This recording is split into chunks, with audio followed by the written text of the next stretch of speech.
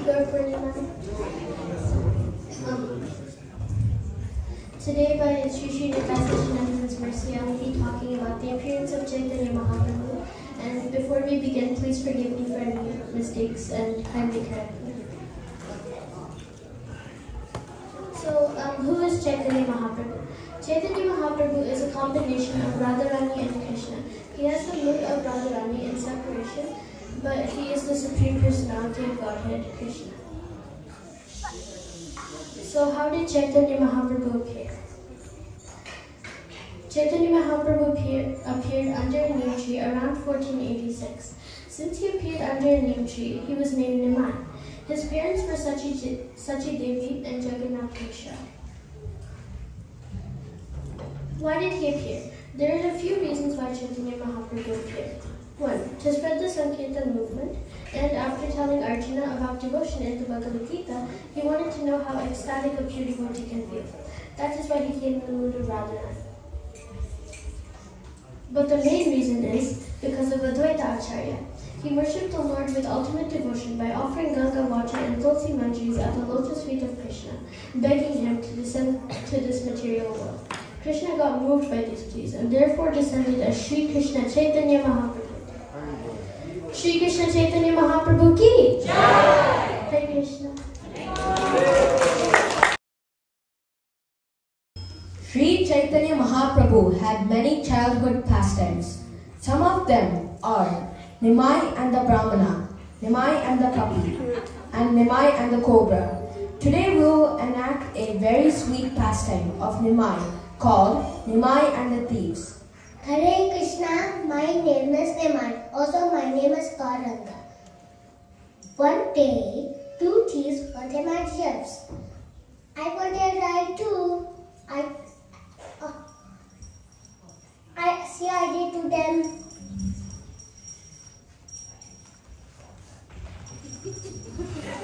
Haribol! Hey, Punda, look at that child's wealth. Yes, Gunda! Wait, really on some rupees? With those ornaments.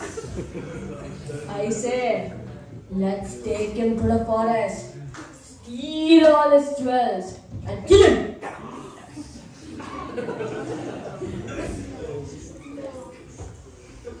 Hey, little child. Want is sweet? Yes. We will give it to you if you come with us for a ride. Okay.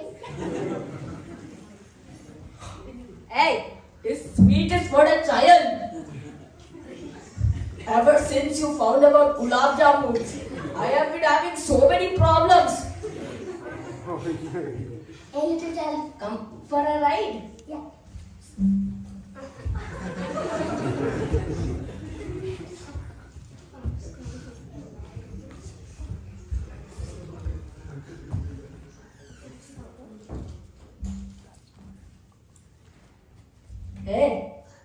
we come back to the same place? I thought we were going to the forest. Let's run away from here. Before the villagers catch us and beat us black and blue.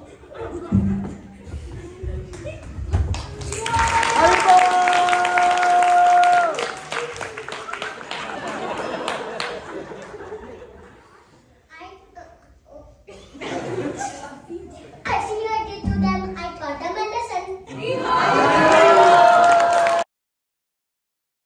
Hare Krishna, dear respected devotees. Today I will be presenting the preaching of Sankirtana movement of Lord Sri Chaitanya Mahaprabhu. Sri Chaitanya Mahaprabhu, the golden avatar, appeared in Navadvip India nearly 500 years ago. He is understood to be Krishna in golden complexion. There is many instances in Vedic literature that Chaitanya Mahaprabhu is an incarnation of Krishna, and this is confirmed by scholars and devotees.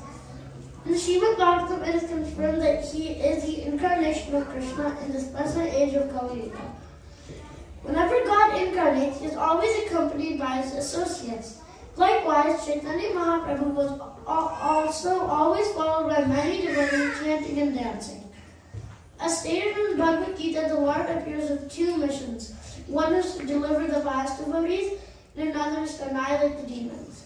In this age, Chaitanya Mahaprabhu's mission was also like that, to deliver the devotees and to annihilate the non-devotees.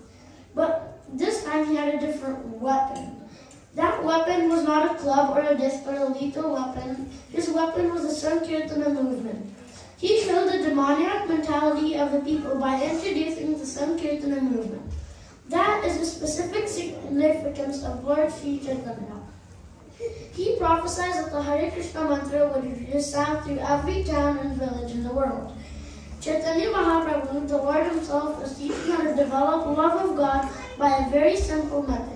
He says to chant Hare Krishna. Please repeat with me. Hare Krishna. Hare Krishna. Hare Nama, Hare Nama, Hare Nama, Kevalam Kalanasti, Kalanasti, Eva Nasti, Eva Gatir Anita. In this age, simply go on chanting the Hare Krishna mantra. There is no other alternative. The chanting process offered by Lord Chaitanya for achieving love of God is called Sankirtana. Sankirtana is a Sanskrit word. Sam means samyak, complete, and Kirtana means glorifying or describing. So complete descri- the, so the complete meaning means complete glorification of the Supreme or the Supreme complete whole. This devotional service begins with the method of Shravana. Shravana means hearing. Kirtana means describing. One should describe and another should hear. Or the same man himself can both describe and hear. He does not need anyone else's help. When we chant Hare Krishna, we chant and hear. This is complete. This is a complete method, but what, what should we be chanting and hearing? One must chant and hear about Vishnu and Krishna, not anything else. Shravanam Kirtan Vishnu Smarana.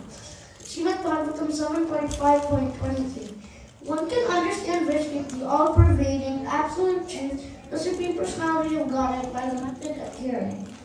In the Chaitanya Charitamrita, Madhya Lila 7.128, the Lord instructs us, Jaya Dekha Tare Kaha Krishna Upadesha Amara Gyan Guru Maya Tare Edesha. Jai Jaya Dekha Tare Kaha means wherever you go and whoever you meet. Krishna Upadesha. Instruct everyone to follow the orders of Lord Sri Krishna as they're given in the Bhagavad Gita and Srimad Bhagavatam. And then, by my order, become a spiritual master and try to liberate everyone in this land.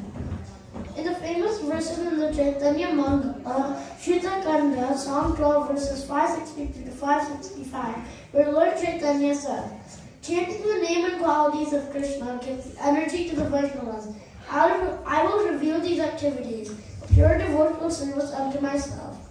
In this way, I'll destroy all the sins in Kalika. So all of you, all of you, my associates, go ahead and take birth on the earthly planet before my advent, and don't remain behind. Taking the sharp sword of Namas and Kirtana, I'll root out and destroy the demoniac mentality in the hearts of all the conditioned souls. Then some sinful people escape and given up their go off to far-off countries. My Senapati Bhakta will go there to deliver them. The Senapati Bhakta means the Acharya, Guru, and the elevated devotees like Srila Prabhupada. In Chaitanya Charitamrita, Adi Lila, chapter 9, 136, the Sankirtana movement has been introduced by Lord Chaitanya Mahaprabhu just to dispel the illusion of mind, by which everyone in this material world thinks himself to be a product of matter and therefore have many beauties pertaining to the body. therefore,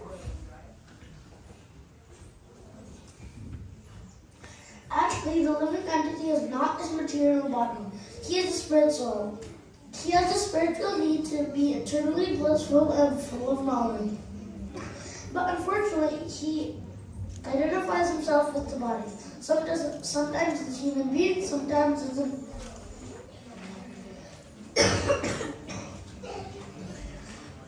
sometimes it's an animal, sometimes it's a tree, sometimes as an aquatic, sometimes as a demigod, and so on. Thus, body, he develops a different type of consciousness with different types of activity, and thus becomes increasingly entangled in material existence. Transmigrating perpetually from one body to another. Under the spell of Maya or illusion, he does not consider the past or the future, but is simply satisfied with the short lifespan that he has gotten for the present. To eradicate this illusion, Sri Chaitanya Mahaprabhu has brought the Sankirtana movement and he requests everyone to accept it and distribute it. So, this process of Hari Kirtana is very simple. Hare Krishna, Hare Krishna, Krishna Krishna, Hare Hare, Hare Rama, Hare Rama, Rama Rama, Hare. Actually, there are only three words, Hare Krishna and Rama, but they're very nicely arranged for chanting, so that everyone can take the mantra to their soul and chant. Hare Krishna, Hare Krishna, Krishna Krishna, Hare Hare, Hare Rama, Hare Rama, Rama Rama, Hare Hare.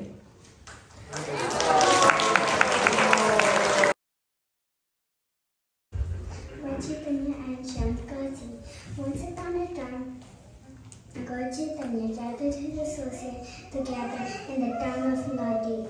With great excitement, he announced that he wants to begin the chanting of the holy names of Lord Hari in every street and houses.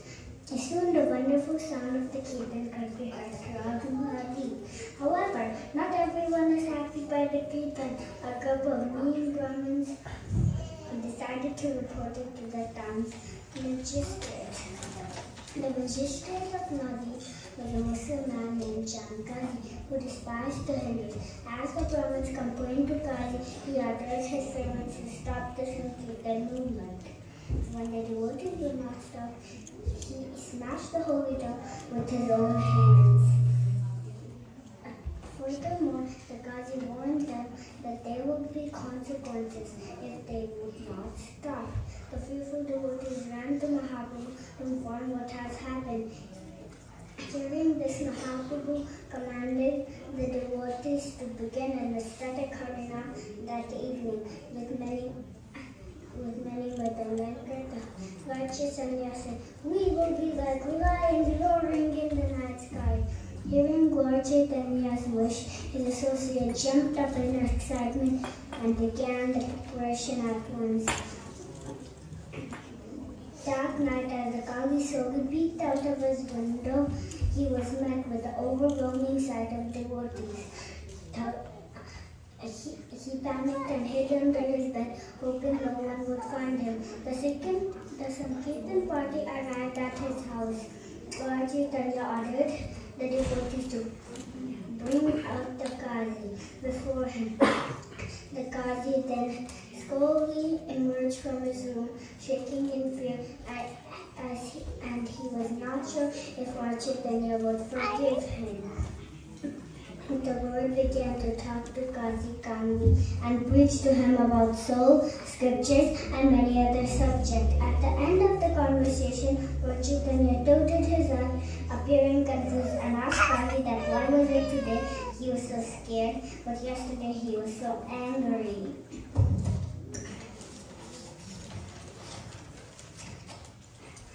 In a trembling voice, he began to speak.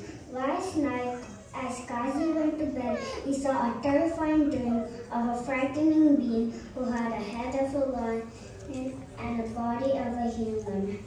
That creature sat on his chest and said he would kill him if he ever disturbed any Sankirtan party ever again, and scratched his chest.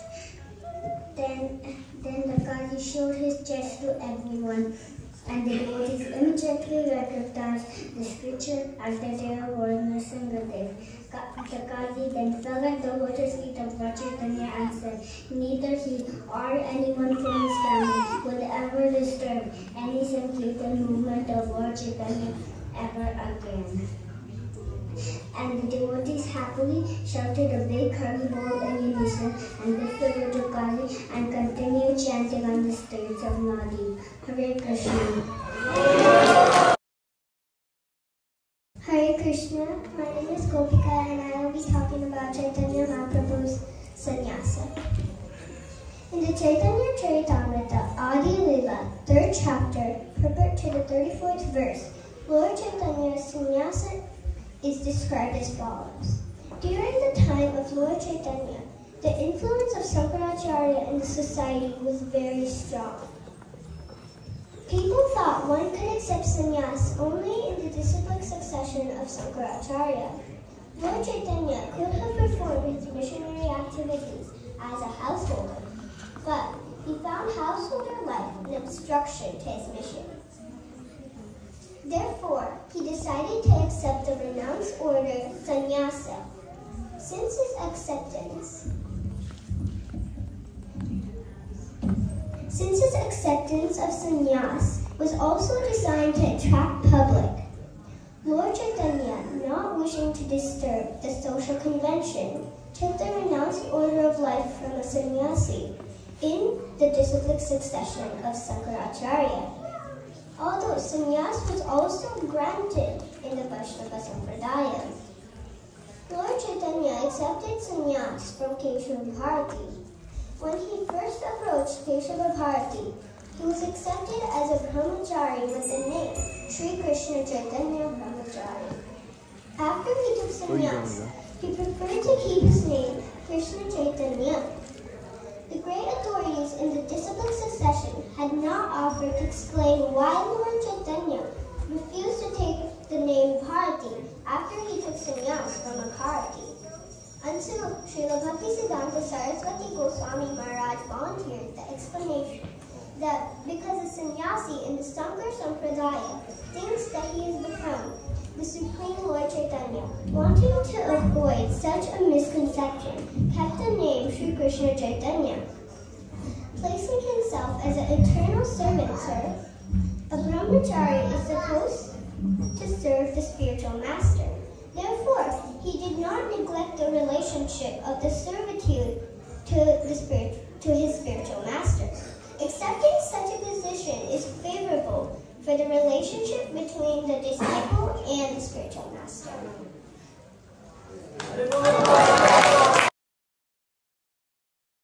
Friend Nimai's birthday today. Yay! Do you know that Nimai went on a fun trip to South India? In South India, there is these small tortoises. It is called Krishna was in a form of a tortoise. It was called Kurmakshetra. Kurma Chetra, our Prabhu hugged Vasudeva and Vasudeva got a wonderful golden body. Mahaprabhu jumped into the river Godavari. Did he take you to a Yamuna where baby Krishna plays? Yes, Nimai the golden boy, Nimai met Ramananda. They talked about big stuff like bhakti is very important. Yes, Madhav, Nimai and Krishna always want bhakti.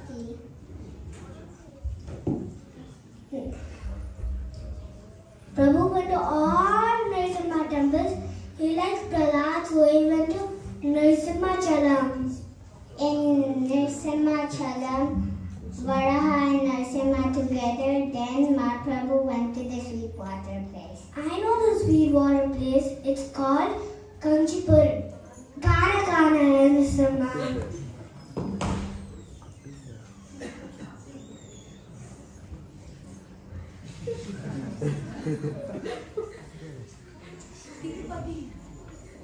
Then Mahaprabhu went to Tirupati. Govinda! Govinda! Govinda! I know a very important place. It's called Kanchipuram. In Shiva Kanchi, Mahaprabhu turned all Shiva devotees into Vishnu devotees. Vaishnavana! Vaishnavana Shambho.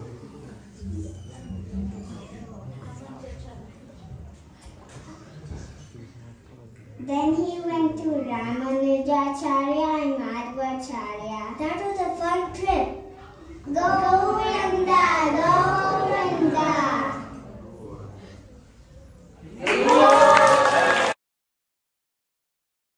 This year, the day of the full moon day of the fall month of Kartika, Sri Vrindavan Dhamma commemorates the 500th anniversary of Sri Chaitanya Mahaprabhu's two-month-long visit to Krishna's sacred land. Chaitanya Mahaprabhu was always absorbed in thoughts of Sri Vrindavan, often in falling in a deep emotional mood. Where is Vrindavan? On several occasions, his devotees feeling separation from him, revolted, discouraged, or dissuaded him from visiting Vrindavan. The Lord's first attempt to go to Vrindavan occurred shortly after he accepted sannyasa, the renounced order, at age 24.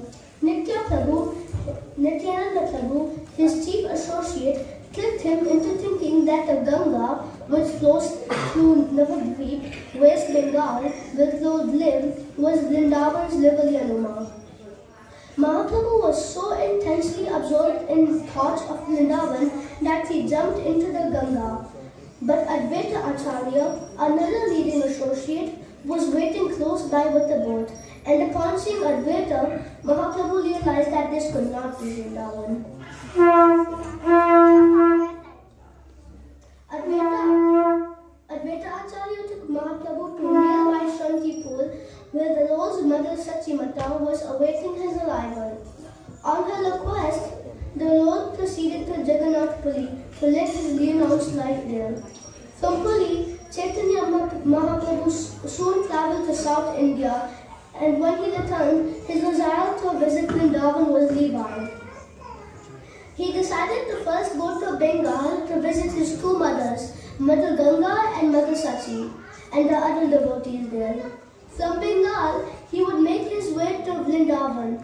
In a Navadvip, Mahaprabhu informed the devotee that he would be walking to Vrindavan. A devotee named Nrsimha Brahmachari wanted to ease the Lord's journey by creating a picturesque path for him.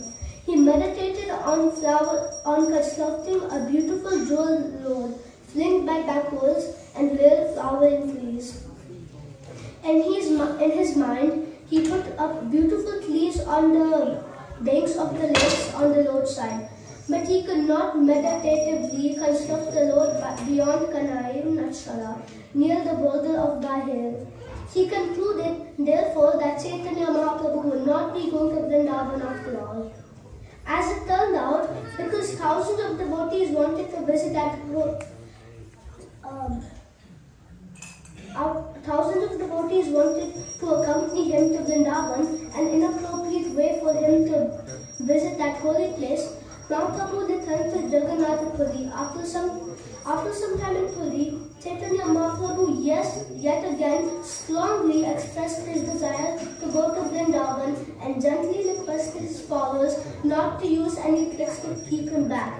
The king of Puri and other devotees dissuaded Mahaprabhu from leaving citing as reasons the rainy season and the upcoming Rathayatra festival. Therefore, after the rainy season and the Rathayatra, Mahaprabhu began his journey to Vrindavan with the servant, Balabhadra Bhattacharya.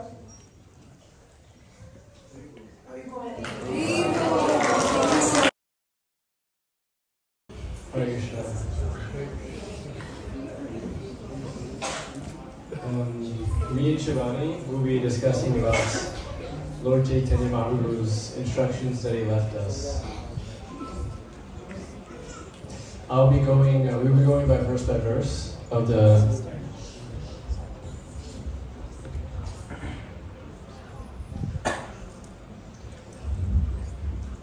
in the first verse of the Chaitanya Marjana, he talks about glorifying the Maha Mantra by describing the benefits such as increasing transcendental bliss and overcoming the cycle of conditional life.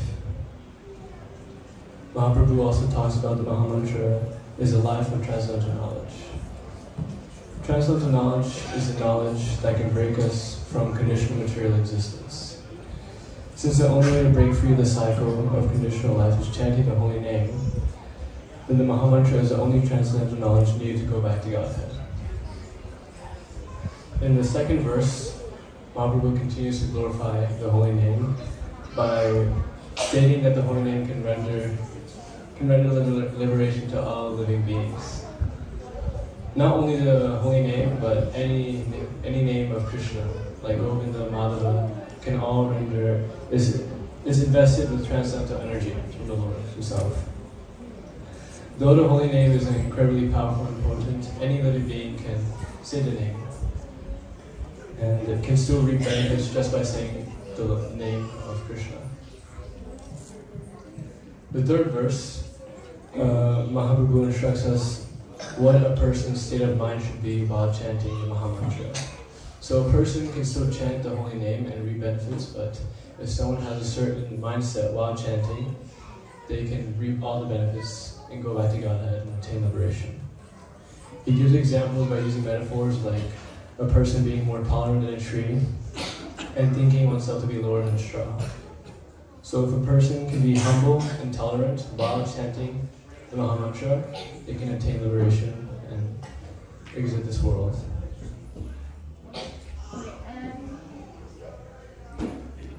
For the rest of the verses, it talks about how when the mind is completely washed of material contamination through pure consciousness, like arises in one's heart, and also stated in like Srila Prabhupada's commentaries, he says, as soon as the whole material contamination is washed away by this process of chanting, all desires and reactions to material activities become immediately vanquished, and then one can like start a peaceful life after chanting the holy name.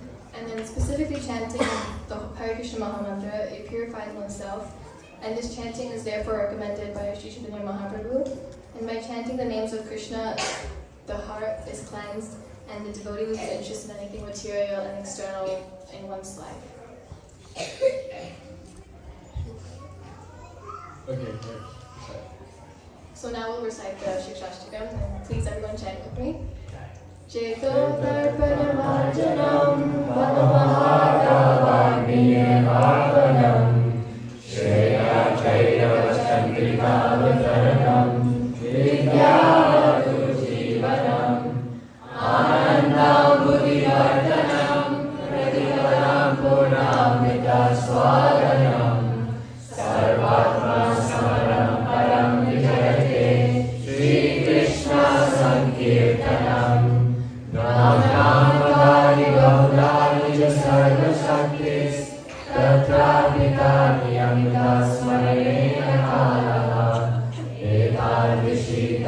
Tava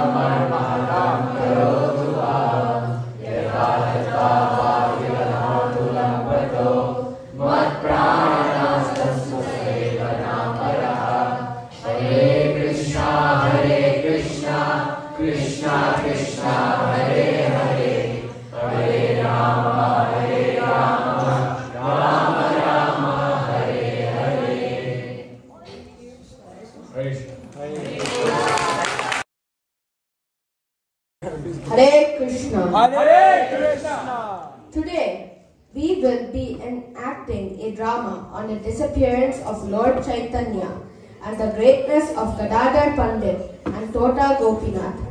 When Chaitanya Mahaprabhu was about to leave this material world, he entered the deity of Tota Gopinath.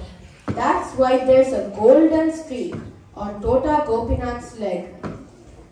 When Chaitanya Mahaprabhu left this world, every Vaishnava was grief stricken, especially Gadadhar Pandit. He became very old and weak and couldn't serve his deity, Gopinath. Oh oh why are you not serving me? Oh Gopinath, I am weak. I am also very old. That is why I am not able to serve you. Okay. I will fix this.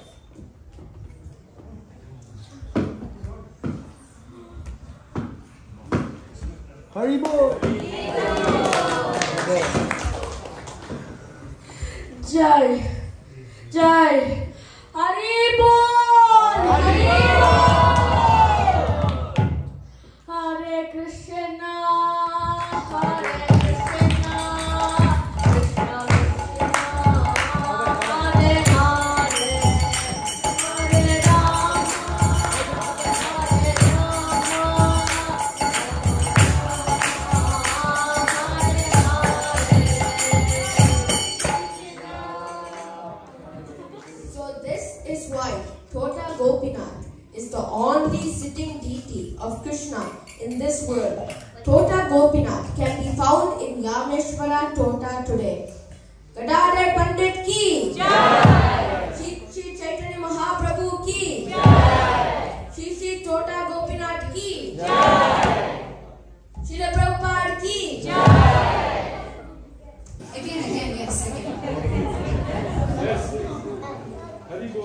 Oh,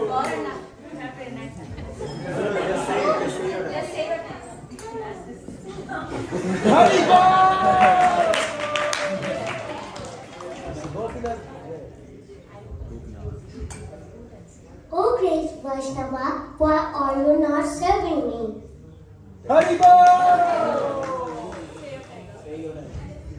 Oh Gopinath, I am very old.